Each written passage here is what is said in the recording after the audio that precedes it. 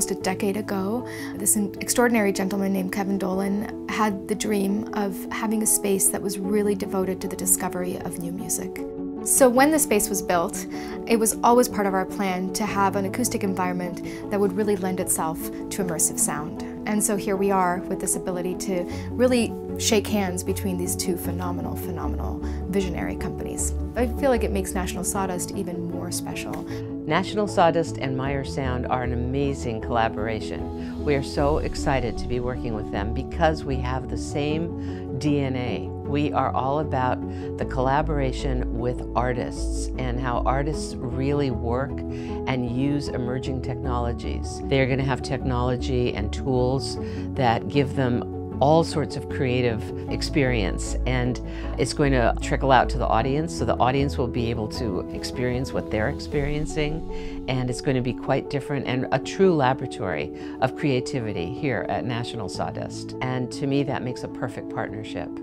Well, I think that having the Constellation system here in this venue, not just in New York, but in Brooklyn, it's a center for new music and for curiosity and for experimentation. It's a huge moment. And having played in the space many times before the Constellation system, I can tell you that it is totally night and day. The experience for the performer is magical. National Sawdust is such an amazing venue because of the artists that inhabit the space. Constellation is a technology that allows the extension of the room's acoustic electronically so that the room can be expanded through the active acoustics of Constellation to sound like different rooms or to have a different character that's more reverberant, uh, for instance. That system uses 16 miniature microphones hung the, near the ceiling and 102 loudspeakers that were installed in the walls and ceiling of the space.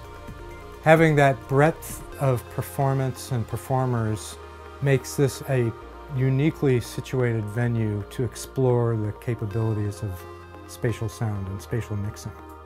The way the room reacts to sound in it was amazing.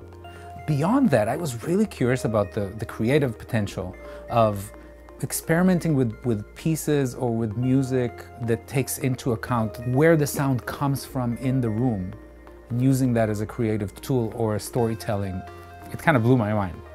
Moving sound, placing it, distributing it in a way that you perceive not necessarily all around you, could be all in front of you, but generally speaking, it's that active mixing. And so now, combination of active mixing and the active acoustics of Constellation, and a PA that can deliver impact sound and low frequencies, you have this realm of exploration that is really unheard of. The experience of being inside Constellation, making music inside of Constellation, is being closer to the audience.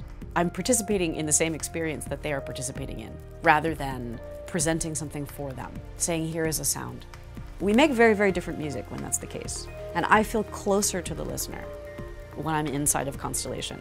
The Meyer sound system has these two iPads set up and it's very easy to use. You just kind of, with your finger, can kind of spatially move things around. So it's super easy to use. Constellation is really getting at what it feels like to be in the space because you can zoom out, zoom in, and I love that we can play with the space and really have this 360 view of this world of sound that's all around you. I think that's really beautiful.